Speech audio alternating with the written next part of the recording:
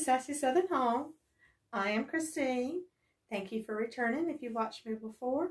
And if you're new, I appreciate it. If you haven't subscribed, hit that subscribe button, please. And hit the notification bell so you'll know when I'm posting. I do post weekly. So spring is coming. It's been a warm couple of days here in South Carolina, but kind of liking it. Except for on the weekends, it always seems to be raining or cooler, but it, we'll get that straightened out anyhow, so spring is coming and Easter is coming. So this is going to be part one of, I don't know how many parts, at least two of some Easter decor higher end. One is actually an inspiration from Pottery Barn and the others are just a little more elevated than just your Dollar Tree um, or everyday item makeover video. So please continue watching. I appreciate it. Thank you. Bye.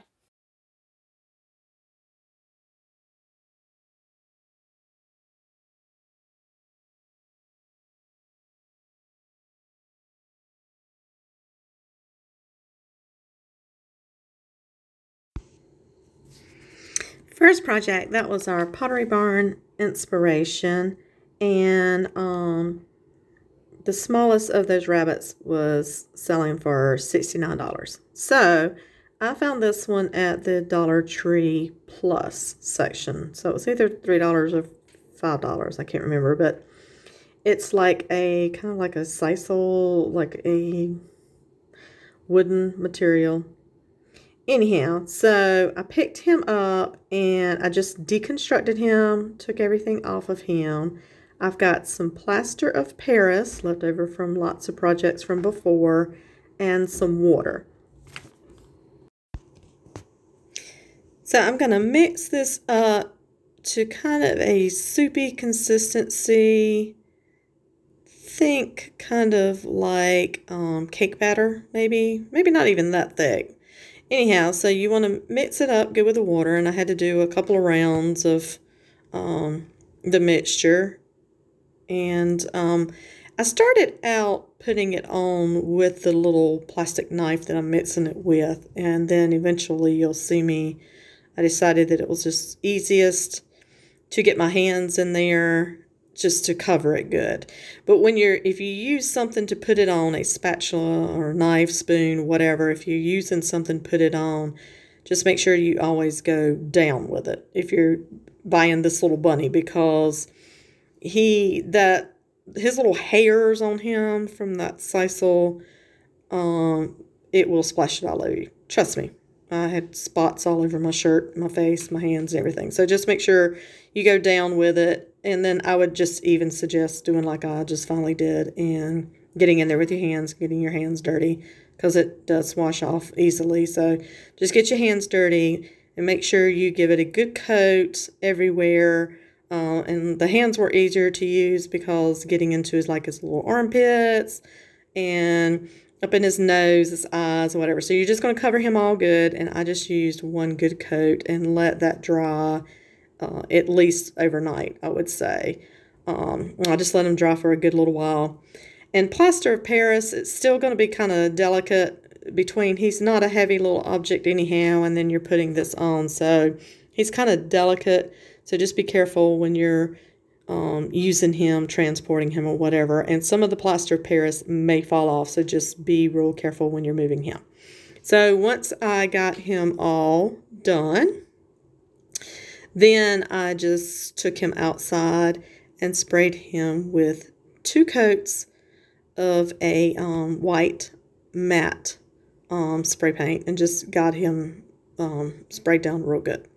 So here we are just finishing up.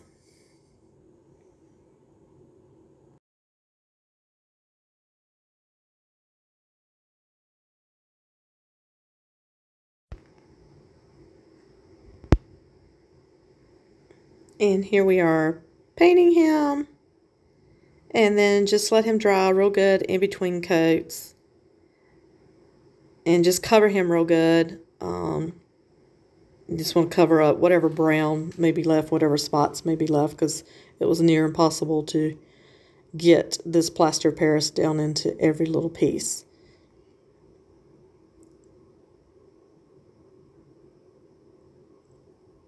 And then here is our final little piece, and he really did turn out cute.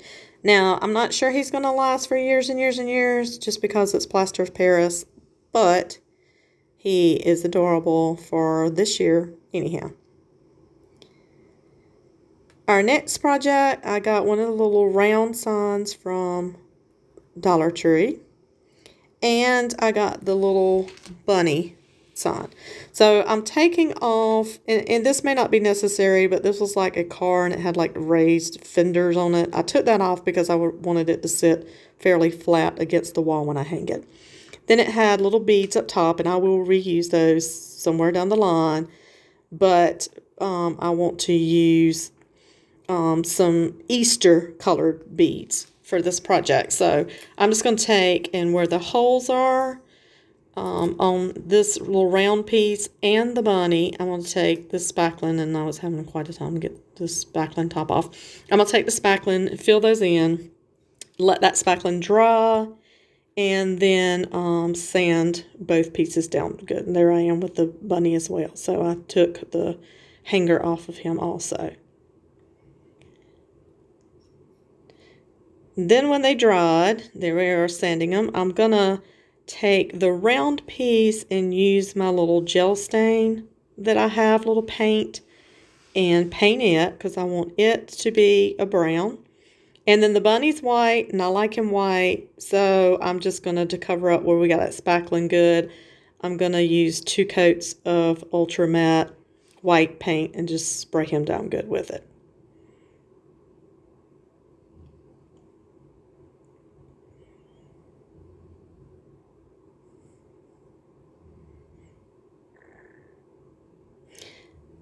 And I had chalk paint there and took that away because I decided the spray paint would be better for the bunny than the chalk paint. It was just easier sometimes. So it's a gel stain paint. I got that from Hobby Lobby and I have used this quite a bit and it's gone a long ways. Um, I like it. It's a little thicker than a um, just a regular stain and it dries pretty good too. So I just like it. And I only did one coat of the gel stain, but so you just want to cover the board. Most of the board is going to be covered up by the bunny, but you're still going to be able to see it because we're going to do like a um, raised effect with the bunny. He's not going to sit flat up against the um, background board. He is going to be raised up using some wooden beads in between. So it kind of gives it a 3D effect whenever you get through.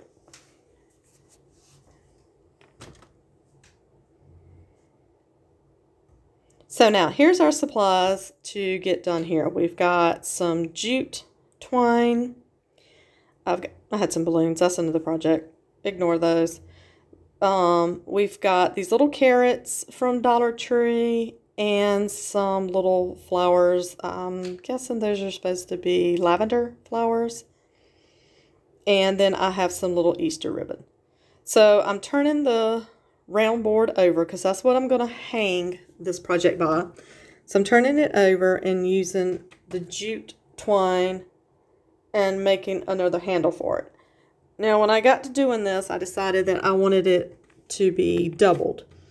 You can use just one um, string or I just doubled it. Now I use the same string, I just doubled it over and you'll see when I get to that in a little bit. So these are the little Easter beads, I call them, from Dollar Tree. So I just figured out how many I wanted on there. Then I'm just going to simply hot glue the twine to the back of the of the board. My hot glue gun wasn't hot at first, so we had to wait and wait and wait. I, yeah, I didn't have it plugged up. Whatever, that's a long story. Story of my life. So anyhow, here we go with the hot glue and glue in both sides down. And again, mine is doubled just because I thought it would be a little bit cuter. And some of this video I thought I was filming and it got cut out. But essentially, here's what we did. After we got this glued, whenever we get this glued, finally, then we're going to turn it over and take some wooden beads. And I used, uh, I guess they were the larger ones, maybe the medium ones. Anyhow, I glued them to the back of the bunny. And I did four of them to the back of the bunny. Then I positioned the bunny onto the round plaque.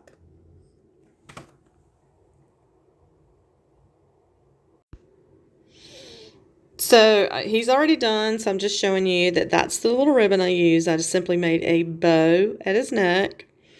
Then I took those lavender and I used two of each color and glued those underneath his bow going down and then took some carrots and you can see how I placed them and glued them. Now on the beads that I took in between the bunny and here's your final project. On the beads that I glued I did super glue and hot glue just to make sure that it holds that the bunny doesn't fall off. But you can see there's a space in between so I thought this project was adorable. Our next project, this is going to be an easy one. You guys, if you've watched me before, you know I love these little wreath, um, little grapevine leaves or whatever they call it, wreaths, wreaths, yeah, from Hobby Lobby. So I use them every season. So what I do is I use floral wire to put my components in instead of hot glue and everything that way from season to season, I can take it off. So this was the Valentine's Day little wreath that I made. And I am going to use these cute little berries. Um, the berries from, these are Easter from Dollar Tree.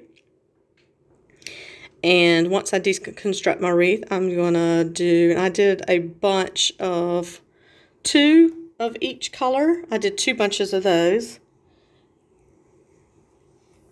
And then I just bind those together. And actually, I didn't have to use any new floral wire. I just reused whatever was on there and that worked. And then I had this little welcome tin sign from, uh, it might have been from back in Thanksgiving when I had bought some supplies. So I had this left over in my bin. And I'm going to just take the wire and use that to hold it down to the little wreath. And then I'm going to take my little berries and um, put those up underneath it and just position it. And then in the end, my home sign that I've made a while ago. I keep using this little wreath over and over in place of the O and that is where we're going to use it. So this one was a fairly quick and easy project. If you found a sign that said Easter, that would be cute. I was just using kind of what was left over in my pile. And um, so, yeah, it's cute.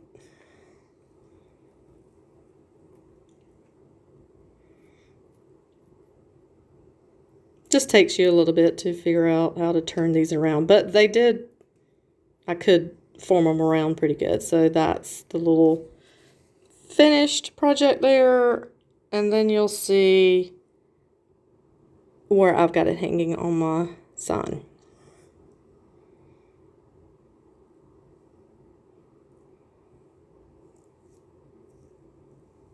The last project is simple and I just kind of threw this one in here just show you what I did. So found this cute little hanger that is a chalkboard and has the beads on it at Dollar Tree. And again, I am going to take these beads off. I'll re reuse them in the future, I'm sure. I'm just going to cut and take them off. Use my jute twine to make a longer holder on it and use those little Easter beads again. And then I'm going to use a chalk marker or chalk pen, whatever you want to call it. I'm not sure if I got these, I've had them for a while. I'm not sure if I got them from Five Below or Dollar Tree. I'm not sure if Dollar Tree has any of these anymore, but you can use regular chalk. But these were uh, different colors that I found. And in my sloppy handwriting, I am just simply going to write out Happy Easter took me a little while to get this thing going. You just kind of press it down and then eventually the chalk would come out.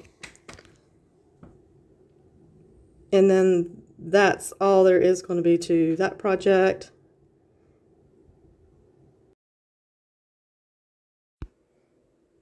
Sometimes it's just nice to throw in just a simple, easy project because they don't all have to be hard. Anyone can do some simple DIY decor for their home, especially for the seasons because when you go to buy this stuff, it usually costs so much finished. But anyhow, finishing up, and here is it. Pardon my sloppy handwriting. Thank you guys so much for watching. Tune in for the next one next week.